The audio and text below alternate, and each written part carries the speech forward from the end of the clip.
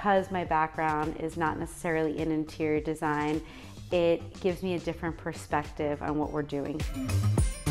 People really like my fresh new approach to antiques and vintage. I think that I honor and pay homage to the past, but I breathe life into new spaces in a different kind of way. I'm really attracted to 1960s French space age, 1980s Memphis Milano, 1970s Italian and French design. I also love 18th century French Rococo. So it's really a very eclectic, kind of maximalist style. I'd like people to enter into my interiors and feel like they're in another world and feel like they're experiencing something that they've never experienced before. But I also like them to feel connected to where we are in the world. Hi, I'm Sasha Bikoff. I'm based in New York City and I am the president of Sasha Bikoff Interior Design.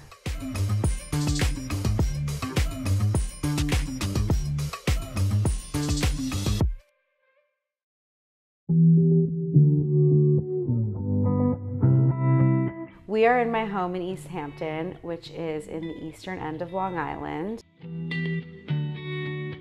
I built this home from the ground up. It took me three years to get a permit and a little over a year to build. It's my proudest work I've ever done. There's something so special about being able to pick every single material, every single detail, design everything from scratch. My overall design aesthetic, it's Marie Antoinette at Studio 54. This home is kind of the opposite of that, more biophilic design, it's Japanese inspired, it's modern barn, it's coastal, and it lends more on the simplistic modernist side. I always say this home is simple, but it's not boring. There's still elements of me and there's still moments of surprise. Come on in.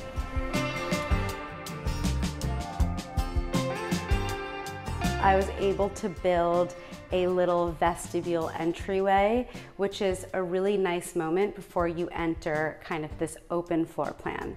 So here we kept it really simple. We have the wood paneling throughout. And another great aspect of an entryway is storage is so important. I have hidden doors and cabinets and drawers here. And it's a place where you can put your coat and your jacket and other odds and ends that you would need. One of the highlight moments of this open floor plan space is the kitchen. We have the vent, which just comes right up. This is a very seamless kind of modern design that doesn't detract from our high ceilings and the architecture of the house. I chose this stone, which was the beginnings of my kitchen. This was the first thing that I decided to choose was this Esmeralda onyx because it really resembles the sea and the colors outside. This dining room is really inspired by my life out here where I do all my little flower arrangements and where I entertain. It's directly across from the kitchen. I found this fabric at Pierre Frey and I immediately was drawn to it because it has all of my farm fresh veggies on it. Another aspect of the dining room that was kind of the last piece of the puzzle is this 1960s Danish Verner Panton moon pendant.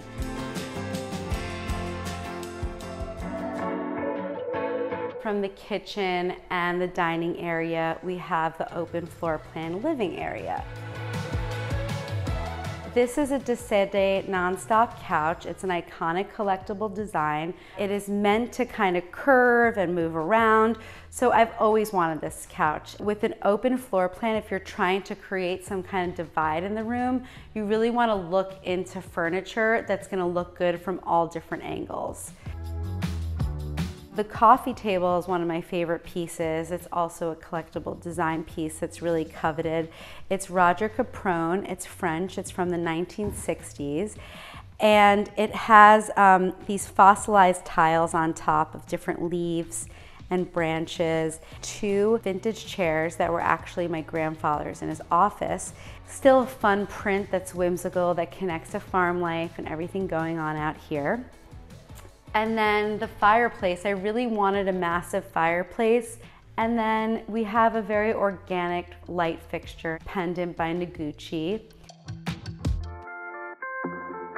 This is the guest bedroom and it's done in my Uptown Toile wallpaper with vervain and it's also in fabric on the headboard and the little cute lamp shades.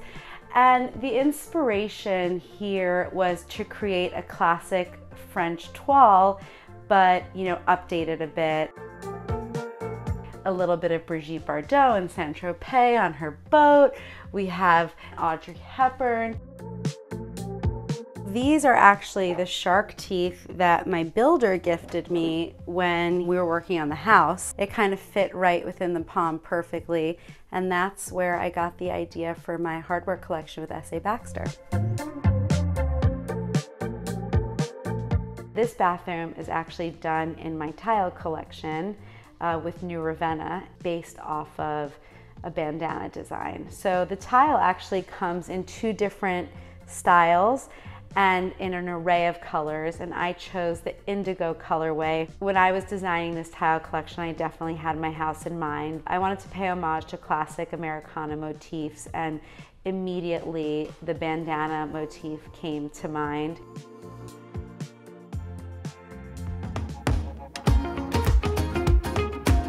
This is my den, library, TV room, and this is a very special room to me because I finally got a place where I could house my extensive book collection and all of my objets and curiosities. Here I fully designed a room customized with millwork and shelving to house all of my little trinkets Custom made the sofa with a Maharam fabric that both has that neon orange and that also has that sandy color. So it felt like it was like the perfect, perfect homage to that inspiration. Now we are entering my third guest room, which we call the Versace room.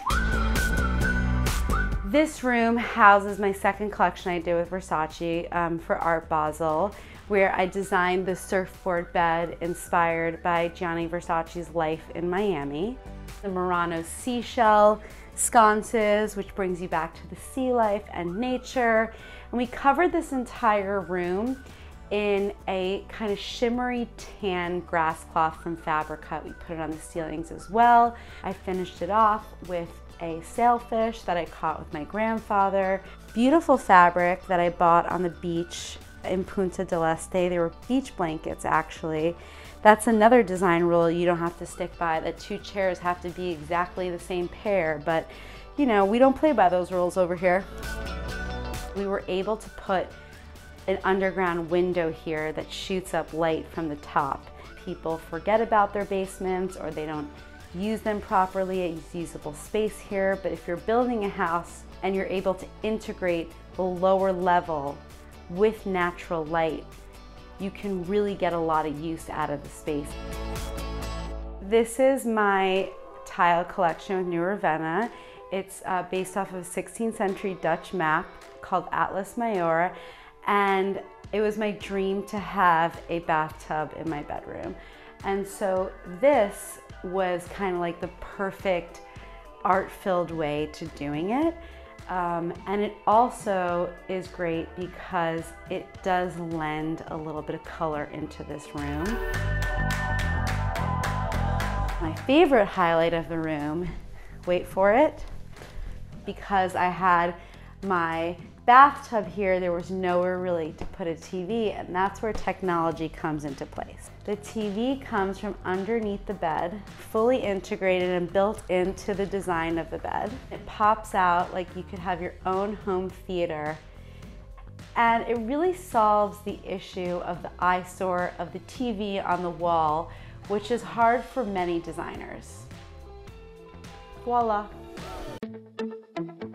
This is my outdoor dining area.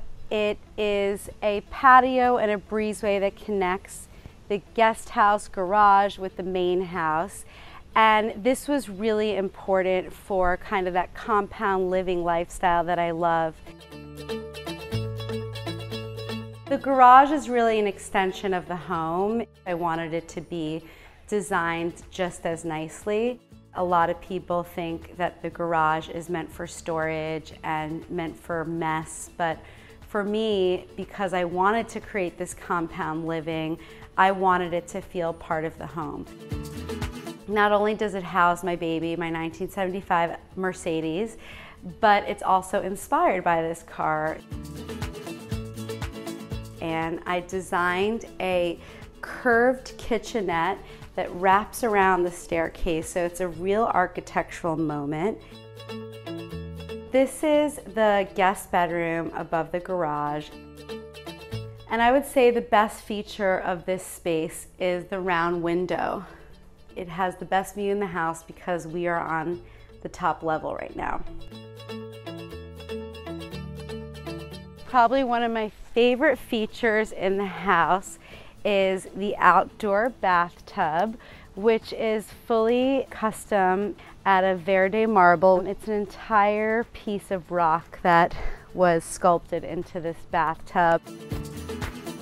And here at the pool, I created a long day bed I wanted the colors of the landscape and of nature to be the focal point and I wanted the furnishings to kind of just blend in.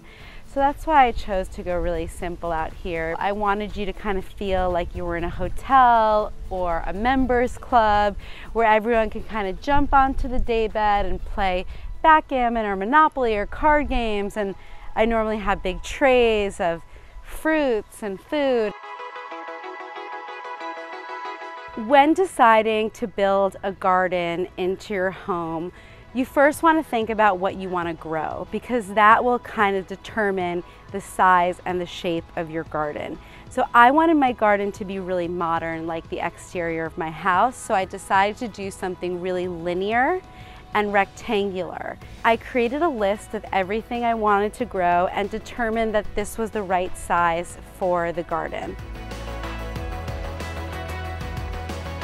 This is the best part of the house and it's being on the water and you know being able to wake up to this and see this every day. The final product of the home is really perfect. This is a place where I kind of seek inspiration. I have a repose. I live by the sea and for me it's nature that really drives me and that really inspires me. It's the sounds, it's the smells, it's the colors, but I always say design is never done.